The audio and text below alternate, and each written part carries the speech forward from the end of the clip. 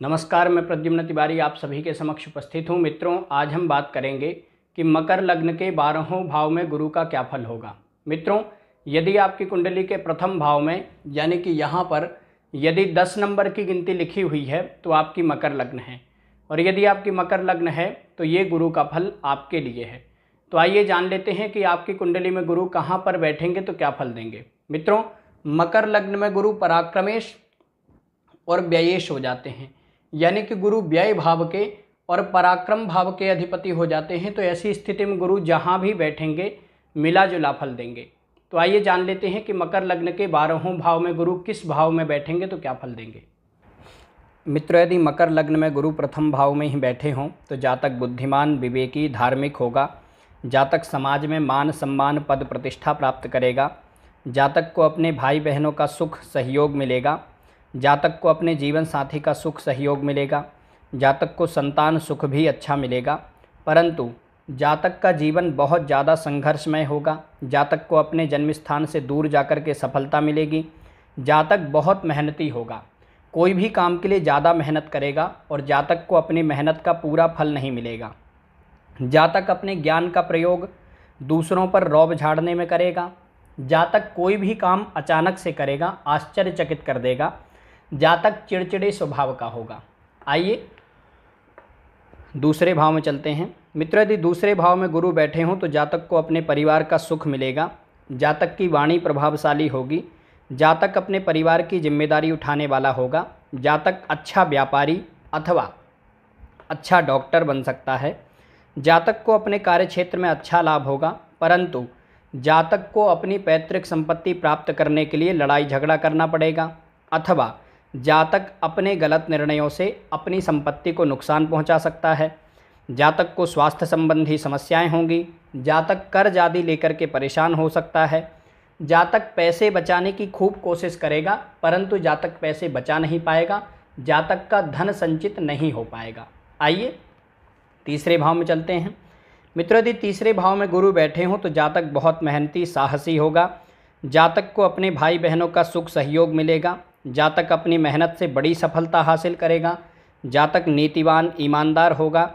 जातक को अपने जीवन साथी का सहयोग मिलेगा। जातक के आय के स्रोत भी अच्छे बनेंगे। परंतु जातक का धन खर्च बहुत होगा, लेकिन जातक का पैसा जातक के हित में ही खर्च होगा। जातक को अपने भाग्य का साथ मिलेगा। जातक के भाई बहनों को जातक से लाभ होगा। जातक के पास में पैसे हमेशा आते रहेंगे। आइए, चौथे भाव में चलते हैं। मित्र यदि चौथे भाव में गुरु बैठे हों तो जातक को माता, भूमि, भवन, वाहन प्रॉपर्टी आदि का सुख मिलेगा। जातक को भाई बहनों का सुख मिलेगा। जातक बड़ा अधिकारी हो सकता है। जातक का धन खर्च ज़्यादा होगा। जातक को व्यापार में अच्छी सफलता मिलेगी। जातक को ज़मीन से संबंधित काम में लाभ हो सकता है। जातक अपने सुखों पर खूब खर्च करेगा। जातक अपनी मेहनत से अचल संपत्ति बनाएगा। जातक को अपने कार्य क्षेत्र में अच्छा लाभ होगा। जातक समाज में सम्मानित होगा। आइए, पाँचवें भाव में चलते हैं। मित्र, यदि पंचम भाव में गुरु बैठे हों तो जातक बुद्धिमान होगा, जातक प्रभावशाली व्यक्तित्व वाला होगा, जातक समाज में सम्मानित होगा, जातक अच्छा सलाहकार बन सकता है, जातक धार्मिक होगा, जातक को अपने ज्ञान से, अपनी बुद्धि से हमेशा लाभ होता रहेगा, जातक अपने जन्म स्थान से दूर जाकर के अच्छी सफलता प्राप्त करेगा जातक के आय के स्रोत अच्छे बनेंगे, जातक उच्च पद प्राप्त करेगा, जातक को अपने भाग्य का साथ मिलेगा। परंतु यदि गुरु और शुक्र तात्कालिक शत्रु हों, यानी कि गुरु यहाँ बैठे हों और शुक्र पीछे के तीन घर और आगे के तीन घरों को छोड़ करके अन्य घरों में बैठे हों, अथवा यहाँ पर गुरु अकेले बैठे हों तो ऐसी स्थिति में जातक को संतान सुख में कमी होगी। जातक के बच्चे जातक से दूर रहेंगे, अथवा जातक के अपने बच्चों से मतभेद होंगे। आइए, छठे भाव में चलते हैं। मित्र यदि छठे भाव में गुरु बैठे हों और लगने शनि बलवान हों तो यहाँ पर गुरु विपरीत राजयोग बनाएँगे। अतः जातक शत्रुहंता होगा। जातक को नौकरी आदि में अच्छा पद प्राप्त होगा। जातक को व्यापार आदि में लाभ होगा। जातक को कोर्ट कचहरी आदि में सफलता मिलेगी। परंतु यदि लगने शनि बलवान ना हो तो जातक को स्वास्थ्य संबंधी समस्याएँ होंगी। विशेष रूप से जातक को पेट से संबंधित समस्या हो सकती है। जातक आलसी होगा, जातक सुस्त होगा, जातक लापरवाह होगा। जातक धन बचाने की बहुत कोशिश करेगा, परंतु जातक धन संचय नहीं कर पाएगा। और यदि बुध और गुरु आपस में तात्कालिक शत्रु हों, यानी कि गुरु यहाँ बैठे हों, और बुध पीछे के तीन घर और आगे के तीन घरों को छोड़ करके अन्य घरों में बैठे हों तो ऐसी स्थिति में जातक के कार्य क्षेत्र में मतभेद होंगे, अथवा जातक के कार्य क्षेत्र में बदलाव होता रहेगा। आइए सातवें भाव में चलते हैं। मित्र, यदि सातवें भाव में गुरु बैठे हों तो यहाँ पर गुरु उच्च राशि में हैं और यहाँ पर गुरु हंस योग नामक राजयोग बनाएँगे। अतः जातक का जीवन साथी सुंदर, सुशील, संस्कारी होगा। जातक प्रभावशाली व्यक्तित्व वाला होगा। जातक समाज में सम्मानित होगा। जातक को अपने भाई बहनों का सुख मिलेगा। जातक बड़ा व्यापारी हो सकता है। जातक धनवान होगा। जातक की वाणी तेजस्वी होगी। जातक के विवाह के बाद में जातक की उन्नति प्रगति होगी। जातक को पार्टनरशिप के व्यापार में लाभ होगा। परंतु यदि यहाँ पर गुरु अकेले बैठे हों तो जातक के वैवाहिक जीवन में मतभेद होंगे। जातक के पास में पैसा बहुत आएगा, परंतु जातक का पैसा बचेगा नहीं। जातक बहुत मेहनती होगा। आइए, अष्टम भाव में चलते हैं।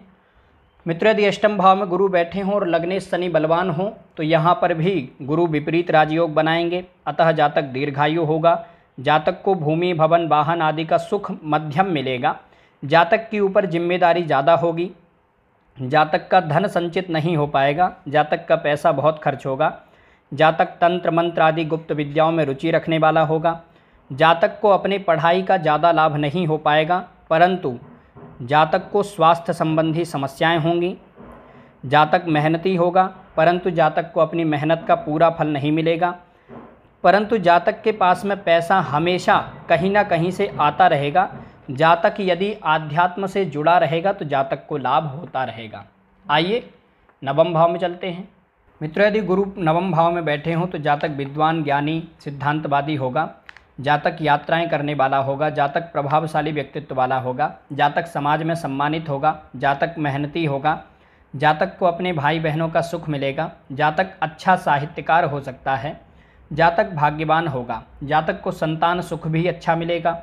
जातक को अपनी बुद्धि से, अपनी विद्या से हमेशा लाभ होता रहेगा। यदि यहाँ पर बुध भी साथ में बैठे हों तो जातक प्रबल भाग्यवान होगा। जातक के भाग्य से ही सब काम बन जाएँगे। आइए, दशम भाव में चलते हैं।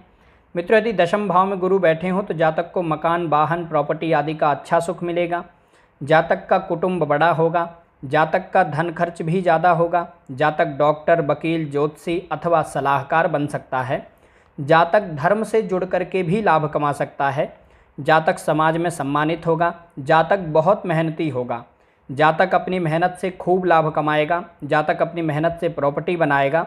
जातक धनवान होगा। परंतु यदि गुरु और शुक्र आपस में तात्कालिक शत्रु हों, यानी कि गुरु यहाँ बैठे हों और शुक्र पीछे के तीन घर और आगे के तीन घरों को छोड़ करके अन्य घरों में बैठे हों तो जातक के अपने माता पिता से मतभेद होंगे। जातक को शासन, प्रशासन से संबंधित कार्यों में देरी होगी अथवा परेशानी होगी। जातक को कोई भी काम के लिए बहुत मेहनत करनी पड़ेगी। आइए, एकादश भाव में चलते हैं। मित्र, यदि एकादश भाव में गुरु बैठे हों तो जातक को व्यापार अथवा नौकरी में अच्छा लाभ होगा। जातक को अपने भाई बहनों का सुख मिलेगा। परंतु जातक के अपने भाई बहनों से थोड़े मतभेद भी होंगे। जातक का पैसा खूब खर्च होगा, लेकिन जातक पैसा हमेशा कमाता रहेगा। जातक को अपनी मेहनत से अच्छा लाभ होगा। जातक के पास में पैसा हमेशा आता रहेगा। जातक को संतान सुख भी अच्छा मिलेगा। जातक का वैवाहिक जीवन सुखमय होगा। जातक को प्रॉपर्टी आदि का अच्छा लाभ होगा। परंतु यदि यहाँ पर गुरु अकेले बैठे हों तो जातक की आय में उतार चढ़ाव बना रहेगा। आइए द्वादश भाव में चलते हैं। मित्र, यदि द्वादश भाव में गुरु बैठे हों तो जातक नौकरी अथवा व्यापार के लिए विदेश जा सकता है। जातक धार्मिक होगा। जातक धर्म कार्यों में अपना धन खर्च भी करेगा। जातक बहुत मेहनती होगा। जातक दीर्घायु होगा। जातक को भूमि, भवन, वाहन आदि का अच्छा सुख मिलेगा। जातक अपनी मेहनत से प्रॉपर्टी बनाएगा। जातक को कोर्ट, कचहरी आदि में सफलता मिलेगी। जातक अपनी मेहनत से बड़ा धनवान बनेगा, जातक को मेहनत से सफलता मिलेगी। मित्रों, आज हमने जाना कि मकर लग्न के बारहों भाव में गुरु किस भाव में बैठेंगे तो क्या फल देंगे। मित्रों, यहाँ से जो गुरु का फल बताया गया है, ये गुरु का फल गुरु की दशा, अंतरदशा, प्रत्यंतर दशा में घटेगा। आज के लिए बस इतना ही। आशा करता हूँ कि ये जानकारी आपके लिए सहायक होगी। नमस्कार।